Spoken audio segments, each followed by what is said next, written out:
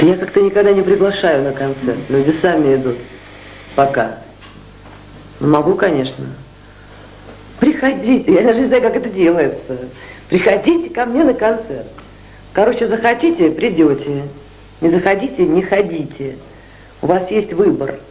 И много-много артистов. И уговаривать я никого не собираюсь. Ну, а как Просто находите? пока я жива, а если кому интересно посмотреть, как надо петь. Скромно еще к тому же. Господи. Понятно. А вот э, боретесь ли вы как-нибудь с аудиопиратством, которое вас уже ограбило на несколько Конечно. миллионов долларов? Конечно, с утра до вечера прям борюсь. А что, с ними ничего нельзя А сделать? еще почему тут я? Интересно, у нас целая конфедерация для этого создана. А что толку-то, если указ президент не подпишет там о борьбе с пиратством? Мы что, должны ходить и за руку их ловить?